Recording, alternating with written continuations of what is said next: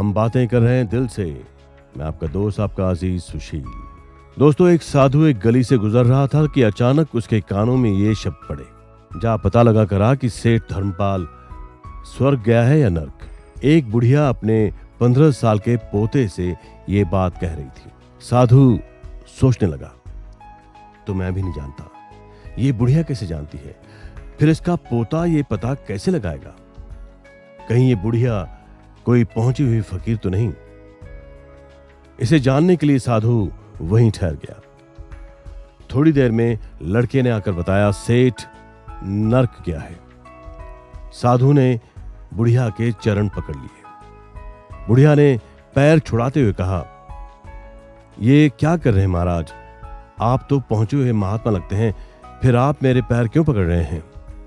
साधु ने क्या कहा ये मैं आपको बाद में बताऊँगा। हम बातें कर रहे हैं दिल से। मैं आपका दोस्त, आपका अज़ीज़ सुशील। दोस्तों, मैं आपको एक साधु की कहानी बता रहा था। एक गली से वो साधु गुजर रहा था कि अचानक उसके कानों में ये शब्द पड़े। जा पता लगा करा कि सेठ धर्मपाल, स्वर्ग गया या नर्क? एक बुढ़िया अपने पंद्रह साल के पोते से ये बात कह रही थी। साधु सोचने लगा कि ये रहस्य तो मैं भी नहीं जानता। ये बुढ़िया कैसे जानती है? फिर इसका पोता ये पता कैसे लगाएगा? कहीं ये बुढ़िया कोई पहुँची हुई फकीर तो नहीं। इसे जानने के लिए साधु वहीं ठहर गया। थोड़ी देर में लड़के ने आकर बताया, सेठ नर्क गया है। साधु ने बुढ़िया के चरण पकड़ लिए। बुढ़िया ने पैर छुड़ाते हुए कहा, ये क्या कर रहे हैं महाराज? आप तो पहुँचे हुए महात्मा लगते हैं, फिर आप मेरे पैर क्यों पकड़ रहे हैं? साधु ने कहा, मैं सब समझता हूँ। आप कोई साधारण मनुष्य नहीं, आपके पास तो बहुत बड़ी सिद्धि है। बुढ़िया ने हैरान होकर पूछा, कैसी सिद्धि? साधु ने कहा बड़े बड़े ऋषि और ज्ञानी भी ये नहीं जानते कि मरकर कौन नर्क गया है और कौन स्वर्ग। लेकिन आपकी बात तो दूर। आपका पोता भी ये जानता है। बुढ़िया ने हँसते हुए कहा, अरे, इसमें जानने की कौन सी बात है? जिसके मरने पे लोग रोएँ, जिसके गुणों की याद करके दुख प्रकट करें, उसे निश्चय ही स्वर्ग मिलेगा। और जिसके मरने पे लोग घी के दिए जलाएँ, राहत महसूस करें, वो नर्क का भागी बनेगा। जो व्यक्ति लोगों की दृष्टि में अच्छा नहीं है, जो समाज को, संसार को प्रसन्न नहीं कर सका, वो ईश्वर की दृष्टि में कैसे अच्छा हो सकता है? ईश्वर या स्वर्ग की प्राप्ति उसी को हो सकती है, जो अपने शुद्ध, स्वच्छ और पावन चरित्र से जनता, जनार्दन को मुक्त कर ले। ये सुनकर साधु नतमस्तक हो गया और सोचने लगा, साधारण सी दिखने वाली बुढ़िया कितनी समझदार है। इसकी समता मैं तो क्या बड़े बड़े ऋषि मुनि और दिग्गज विद्वान भी नहीं कर सकते। दोस्तों, आपको ये कहानी कैसे लगी? इस पर सोचिए। मैं हूँ आपका दोस्त, आपका अज़ीज़ सुशील, और हम बातें कर रहे हैं दिल से, दिल की गहराइयों से। दोस्तों, एक राजा अपने मंत्रियों से बेहद असंतुष्ट था। राजा को लगता था कि वो उसकी बात नहीं सुनते, उसके खिलाफ षड्यंत्र रचते हैं। लेकिन सामने कोई ऐसा मिसाल नहीं मिलता था कि वो मंत्रियों के खिलाफ कोई कार्रवाई करे। जब उसकी चिंता बहुत बढ़ गई तो वो राज पुरोहित के पास गया। राज पुरोहित ने उसकी बातें ध्यान से सुनी। फिर बोला कि राजा दूसरों के बारे में जो कुछ भी सोचे, उसके प्रति सावधान रहे। राजा ने पूछा, ऐसा क्यों? पुरोहित ने कहा, तुम्हारे विचार बहुत शक्तिशाली हैं, वो दूसरों तक पहुँच जाते हैं। राजा को विश्वास नहीं हुआ। उसने कहा भला मन में सोची बात दूसरों तक कैसे पहुँच जाएगी आपकी ये व्याख्या सही नहीं लगती। तब पुरोहित ने अपनी बात समझाने के लिए एक प्रयोग करने की सलाह दी। वो क्या सलाह थी? वो प्रयोग क्या था? मैं आपको बाद में बताऊँगा। मैं हूँ आपका दोस्त, आपका अज़ीज़ सुशील, और हम बातें कर रहे हैं दिल से, दिल की गहराइयों से। दोस्तों, राजा को विश्वास नहीं हुआ कि मन में सोची बात दूसरों तक पहुँच जाती है। राजा को अपने राज पुरोहित की व्याख्या समझ में नहीं आई। तभी पुरोहित ने अपनी बात समझाने के लिए एक प्रयोग करने की सलाह दी। उसने कहा, देखो, सामने से आता हुआ वो व्यक्ति जो दिखाई दे रहा ना, जब वो पास आ जाए तो मैं चाहूँगा कि तुम उसके लिए क्रोध और दुर्भावना से भरी बातें सोचो और तब देखते हैं कि उसका क्या असर होता है। जब वो अजनबी करीब आया तो राजा सोचने लगा, इससे तो पकड़ कर काल कोठरी में डाल देना चाहिए। अच्छा भला मैं राजपुरोहित से बातें कर रहा था, पता नहीं ये कहाँ से खलल डालने आ गया। जब वो अजनबी बिल्कुल पास आ गया तो राज पुरोहित ने उससे कहा, आओ भाई बैठो। पता नहीं ये आदमी कहाँ से आ गया है, अपने को राजा बता रहा है। इसे देखकर तुम्हारे मन में क्या आ रहा है? क्या विचार है? तो उस आदमी ने कहा माफ़ करना पुरोहित जी, पर मेरा तो जी चाहता है कि इसका सर फोड़ दूँ। राजा ने यह बात सुनी। उसे समझ में आ गया कि उस अजनबी ने भी उसके कुविचार पकड़ लिए थे। तभी वो हिंसक रूप से प्रतिक्रिया करने को प्रेरित हुआ था। हम चाहे कुछ न बोलें, पर हमारे क्रोध के द्वारा, हमारे क्रुद्ध हाव भाव के द्वारा हमारी क्रुद्ध आवाज़ के द्वारा वातावरण में नकारात्मक तरंगे जा सकती हैं। उससे न केवल दूसरे व्यक्ति पे असर पड़ता है, बल्कि वो तरंगे लौटकर वापस हम तक भी आती हैं। ये विचार की शक्ति है दोस्तों। हम बातें कर रहे हैं दिल से। मैं आपका दोस्त, आपका अज़ीज़ सुशील गजवानी। दोस्तों हम चाहे कुछ न बोलें, पर हमारे क्रोध के द्वारा, हमारे क्रुद्ध हाव भाव के द्वारा, हमारी क्रुद्ध आवाज़ के द्वारा वातावरण में नकारात्मक तरंगे जा सकती हैं। उनसे न केवल दूसरे व्यक्ति पे असर पड़ता है, बल्कि वो तरंगे लौटकर वापस हम तक भी आती हैं। हम समझते हैं कि किसी को ये नहीं पता हम क्या सोच रहे हैं, पर हमारे विचार ऐसी तरंगे पैदा करते हैं जो कि सूक्ष्म स्तर पर दूसरों द्वारा पकड़ी जा सकती हैं। इसलिए बेहतर हो कि हम अपने कुविचारों से, क्रोध से बचने की कोशिश करें। इसके लिए कई तरीके अपनाए जा सकते हैं। पहला तरीका यह है कि जब क्रोध आए तो उसके दुष्परिणामों के बारे में सोचें। दूसरा तरीका यह है कि हम कोई लक्ष्य निर्धारित करें और तब सोचें कि क्रोध से उस लक्ष्य की प्राप्ति में क्या बाधा आएगी। तीसरा तरीका है कि हम ध्यान अभ्यास द्वारा खुद को ऐसे साध लें कि क्रोध आए ही नहीं। दोस्तों, एक बार गौतम बुद्ध के पास एक नौजवान आया और अचानक उन्हें अपशब्द कहने लगा। गौतम बुद्ध ने इस पे क्या प्रतिक्रिया दी, क्या कहा यह मैं आपको बाद में बताऊँगा। हम बातें कर रहे हैं आपके दिल की गहराइयों से, तहे दिल से। मैं आपका दोस्त, आपका अज़ीज़ सुशील। दोस्तों, एक बार गौतम बुद्ध के पास एक नौजवान आया और अचानक उन्हें अपशब्द कहने लगा। गौतम बुद्ध चुपचाप सुनते रहे। हालाँकि उनके शिष्य क्रोधित उठे और उसे पीटना चाहते थे, लेकिन गौतम बुद्ध ने उस नौजवान से कहा, शब्दों का जो उपहार तुम मेरे लिए लाए थे, वो मुझे स्वीकार नहीं। तुम्हारा तोहफा तुम्हारे ही पास रहा, तुम्हें इसे वापस ले जाना होगा। क्रोध को काबू करने का एक और तरीका यह है कि हम निश्चित करें कि ये समय हम अपने विकास में लगाएँगे। तो उस दौरान हम क्रोध के आक्रमण से बच सकते हैं। क्रोध आने लगे तो हम अपने आप से ये कह सकते हैं कि अगर इसे अपने ऊपर हावी होने दिया तो ये मेरा कीमती समय बर्बाद कर देगा। काम की जगह मैं बैठा हूँ। इसी इसी बारे में सोचता रहूँगा। इस हालत में मैं अपने अंतर के नजारों पे कैसे ध्यान टिकाऊँगा? मेरे भीतर तो क्रोध पनपता रहेगा। इस विचार को आगे ले जाकर हम ये भी सोच सकते हैं कि ज़िंदगी में ऐसे हालात हमेशा आते रहेंगे जो मुझे क्रोधित करेंगे। क्या मैं ज़िंदगी भर किसी न किसी बात पे क्रोधित होते रहना चाहूँगा? ये ज़िंदगी अनमोल है। ये ज़िंदगी अनमोल है, मैं इसे क्रोध में बर्बाद नहीं करना चाहता। हम बातें कर रहे हैं, दिल से मैं आपका दोस्त, आपका अज़ीज़ सुशील। दोस्तों, प्रसिद्ध विद्वान वाचस्पति मिश्र का विवाह कम उम्र में ही हो गया था। जब वो पढ़ाई पूरी करके घर लौटे तो उन्होंने अपनी माँ से वेदांत दर्शन पे ग्रंथ लिखने की आज्ञा मांगी। उन्होंने कहा कि जब तक उनका ग्रंथ पूरा न हो, तब तक उनका ध्यान भंग न किया जाए। उनकी माता चूँकि काफ़ी बूढ़ी हो चुकी थी, सो उन्होंने अपने पुत्र की साहित्य साधना में सहयोग करने के लिए अपनी पुत्र वधु भामती को बुला लिया। भामती ने वाचस्पति की सेवा का दायित्व अपने ऊपर ले लिया। कुछ समय बाद माताजी का देहावसान हो गया। भामती तन मन से पति की सेवा में लगी रही वाचस्पति मिश्र।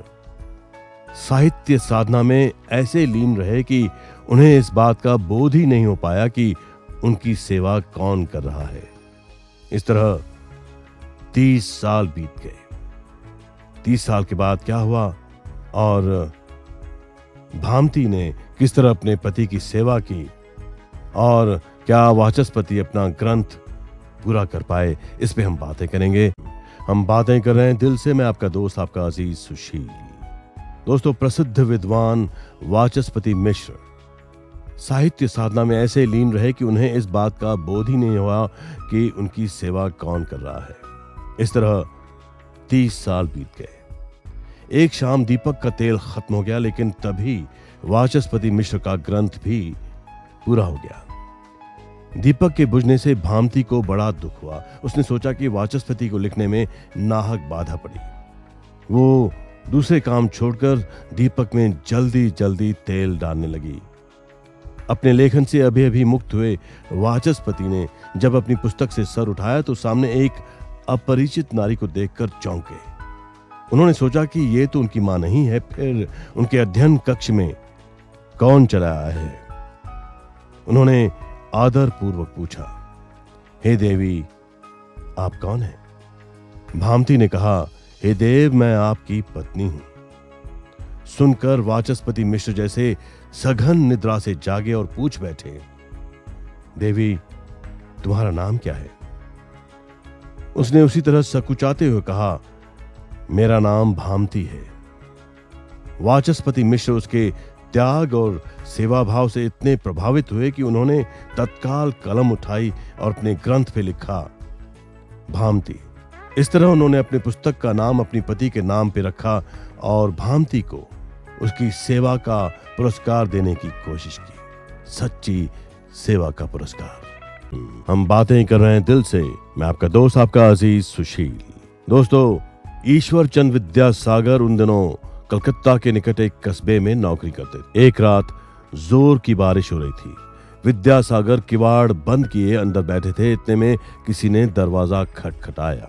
विद्यासागर ने उठकर दरवाज़ा खोला तो देखा कि पानी से सराबोर एक आदमी बाहर खड़ा ठंड से काँप रहा है। विद्यासागर ने बिना कुछ पूछे ही उसे अंदर बुला लिया। विद्यासागर के प्यार भरे शब्दों को सुनकर उस आदमी की आँखें भर आईं। वो अंदर जाकर बैठ गया। उसने कहा, मैं कई घरों में गया, लेकिन किसी ने भी मुझे जगह नहीं दी। मैं इस कस्बे में नया हूँ, मेरा दोस्त यहीं रहता है, मैं उसी से मिलने यहाँ पे आया हुआ था। लेकिन जब वहाँ पहुँचा तो देखा कि दरवाजे पे ताला लटका हुआ है। पता लगा कि वो कहीं गया हुआ है। आपने मुझ पर बड़ा उपकार किया है। इस पे ईश्वर चंद विद्यासागर ने क्या कहा ये मैं आपको बाद में बताऊँ हम बातें कर रहे हैं। दिल से मैं आपका दोस्त, आपका अज़ीज़ सुशील। दोस्तों ईश्वर चंद विद्यासागर ने जब दरवाज़ा खोला तो देखा कि पानी से सराबोर एक आदमी बाहर ठंड से काँप रहा है। विद्यासागर ने बिना कुछ पूछे ही उसे अंदर बुला लिया। उस आदमी की आँखों में पानी आ गया। उसने कहा, मैं कई घरों में गया, लेकिन किसी ने मुझे कोई जगह नहीं दी। वहाँ पे खड़ा तक नहीं किया मुझे। मेरा दोस्त यहाँ रहता है इस, इस गाँव में लेकिन वो कहीं बाहर चला गया है। आपने मुझे अंदर बुलाकर मुझ पर बड़ा एहसान किया है। विद्यासागर ने कहा एहसान? कैसा एहसान? मैंने तो अपने कर्तव्य का पालन किया है। अतिथि का सत्कार करना हम सबका परम कर्तव्य ही नहीं हमारा परम धर्म भी है। अतिथि तो देवता होते हैं। विद्यासागर ने देखा कि अतिथि अब भी ठंड से काँप रहा है। उन्होंने अतिथि से कपड़े बदलने का आग्रह किया और उसे अपने नए कपड़े पहनने के लिए दे दिए। कुछ देर बाद उस व्यक्ति ने पूछा, एक बात बताएँ, आपने मुझ पर भरोसा कैसे कर लिया? हो सकता है कि मैं झूठ कह रहा हूँ या गलत इंसान हूँ? विद्यासागर ने मुस्कुराते हुए कहा, आपका इंसान होना ही काफ़ी है। मेरे लिए हर मनुष्य बराबर है। मुझे मनुष्यता पे पूरा पूरा विश्वास है। अगर कोई गलत रास्ते पे चला भी गया है तो उसे सही रास्ते पे लाया जा सकता है। मैं इसी भरोसे पे जीता हूँ। वो व्यक्ति उनके प्रति नतमस्तक हो गया और उस दिन से उनका शिष्य बन गया। दोस्तों ईश्वर चंद विद्यासागर की ये छोटी सी कहानी आपको कैसे लगी? इसे सोचिए, मनुष्यता पे विश्वास कीजिए। हम बातें कर रहे हैं दिल से आपके दिल की गहराइयों से। मैं आपका दोस्त, आपका अज़ीज़ सुशील। दोस्तों, हमेशा अपने दिल की बात सुनो, क्योंकि दिल आखिर दिल है, दिल आपका आईना है। क्या आपने कभी पंछी को गाते हुए सुना है? शिष्य अपने गुरु से हमेशा यही शिकायत करता था। गुरुदेव, आप जैन के अंतिम सत्य मुझसे छुपाते हैं। गुरुदेव से समझाते हैं, लेकिन गुरुदेव की किसी भी बात को वो स्वीकार नहीं करता। एक दिन दोनों पहाड़ों में घूम रहे थे, तभी एक पंछी का गीत सुनाई दिया। गुरुदेव ने पूछा क्या तुमने भी उस पंछी को गाते हुए सुना? शिष्य ने भी पंछी को गाते हुए सुना था। उसने कहा, जी, सुना। तो अब तुम जानते हो कि मैंने तुमसे कुछ नहीं छुपाया। गुरुदेव ने कहा। तब शिष्य ने झुककर कहा, जी, गुरुदेव, क्या कहा था आपने? आपने सैकड़ों पंछियों को गाते हुए सुना है और हज़ारों वृक्ष, हज़ारों पेड़ देखे हैं। हम्म। वृक्ष देखा था या सिर्फ़ पेड़ नाम की चीज़ देखी थी? दोस्तों, इन बातों पे सोचिए। शिष्य और गुरुदेव की बातें आगे क्या होती हैं, मैं आपको बाद में बताऊँगा। हम बातें कर रहे हैं दिल से, तहे दिल से। मैं आपका दोस्त, आपका अज़ीज़, सुशील गजवानी। दोस्तों, अगर आप एक वृक्ष की ओर नज़र डालें और केवल एक वृक्ष देखें तो आपने दरअसल वृक्ष देखा ही नहीं। पर जब एक वृक्ष को देखें और आपको एक करिश्मा, एक मिराकल एक चमत्कार नज़र आए, तभी आपने सचमुच उसे देखा है। एक पंछी के चहचहाने पर, एक पंछी के गाने पे, एक कोयल के कुहू कुहू पे आपका दिल अद्भुत कुतूहल से भर गया हो। क्या ऐसा कभी नहीं हुआ? परमात्मा की खोज में हम बहुत ज़्यादा सोचते हैं। बहुत ज़्यादा ध्यान करते हैं, बहुत ज़्यादा बोलते हैं। शब्दों के खेल में उलझे रहते हैं, परमात्मा की खोज में। हम शब्दों के खेल में उलझे रहते हैं। निशब्द होकर, खामोश होकर हर तरफ़ देखिए।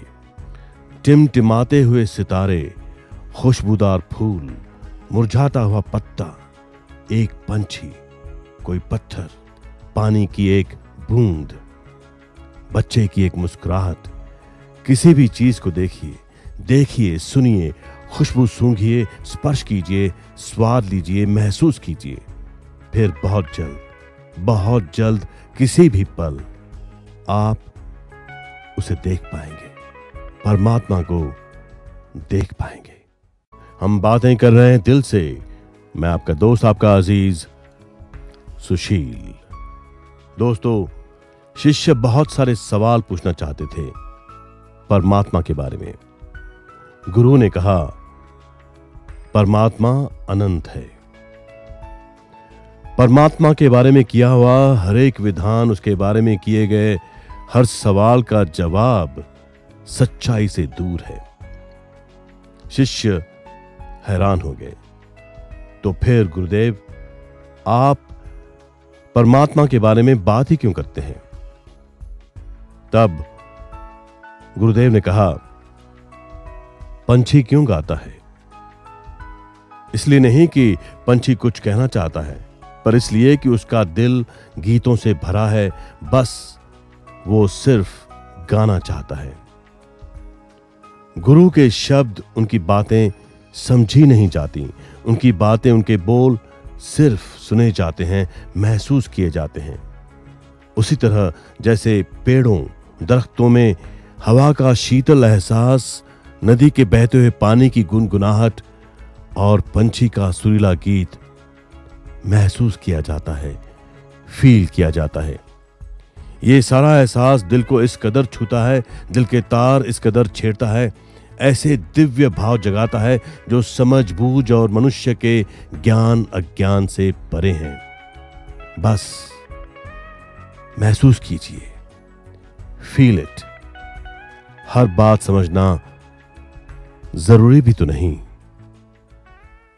हम बातें कर रहे हैं दिल से। मैं आपका दोस्त, आपका अज़ीज़ सुशील।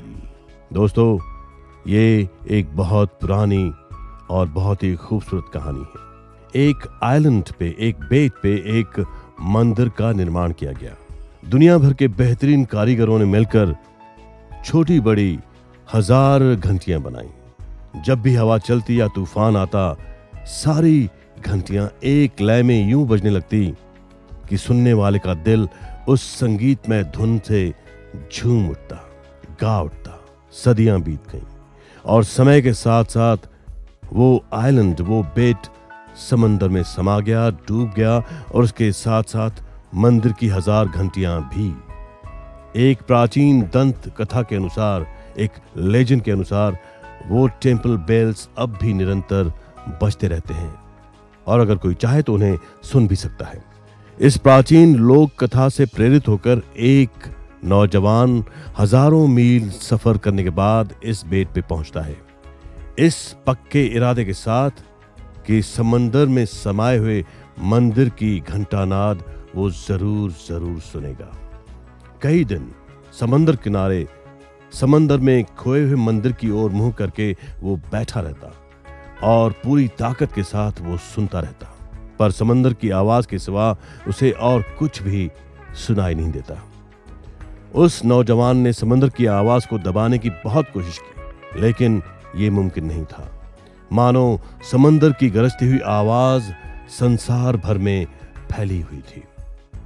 दोस्तों, क्या वो नौजवान मंदिर की घंटानाद सुन पाता है, ये मैं आपको बाद में बताऊँगा। हम बातें कर रहे हैं दिल से। मैं आपका दोस्त, आपका अज़ीज़ सुशील। दोस्तों, एक नौजवान हज़ारों मील सफ़र करने के बाद एक बेट पे आता है। इस पक्के इरादे के साथ कि वो समंदर में समाये हुए मंदिर की घंटानाद ज़रूर सुनेगा। कई हफ़्ते वो अपने इस काम पे डटा रहा। वो निराश हो जाता, लेकिन गाँव के बुज़ुर्ग और विद्वान उस रहस्यमयी मंदिर के घंटानाद के बारे में घंटों बातें करते और फिर वो नौजवान नए जोश के साथ अपने मकसद के पीछे लग जाता। कई दिनों, कई हफ्तों, कई महीनों की कोशिशें फिर नाकाम हो जाती उसे निराश कर देती गरजती हुई समंदर की लहरों के अलावा उसे और कुछ सुनाई नहीं देता। उसे लगा, घंटानाद सुनना उसकी किस्मत में नहीं था। उसने अपनी कोशिशें त्याग देने का फैसला किया। शायद शायद समंदर में डूबे मंदिर और उसके हज़ार घंटियों के घंटानाथ की कहानियाँ सिर्फ़ कहानियाँ हैं। दे आर जस्ट लेजेंड्स शायद ये अफसाने हैं, सच नहीं। उसने तय कर लिया कि आज उसका आखिरी दिन होगा। वो आखिरी बार समंदर किनारे आता है। वहाँ क्या होता है? ये मैं आपको बाद में बताऊँगा। हम बातें कर रहे हैं आपके दिल की गहराइयों से। मैं आपका दोस्त, आपका अज़ीज़ सुशील। दोस्तों, उस नौजवान को लगा कि घंटानाथ सुनना शायद उसकी किस्मत में नहीं था। उसने अपनी कोशिशें त्याग देने का फैसला किया। शायद शायद समंदर में डूबे मंदिर और उसके हज़ार घंटियों के घंटानाथ की कहानियाँ सिर्फ़ कहानियाँ हैं। अफसाने हैं। दे जस्ट लेजेंड्स उसने तय कर लिया कि आज उसका आखिरी दिन होगा। वो नौजवान समंदर किनारे आया, समंदर और आसमां से, हवाओं और नारियल के पेड़ों से अलविदा करने आया। आखिरी बार वो समंदर की रेत पे लेट गया, बिना किसी टेंशन के।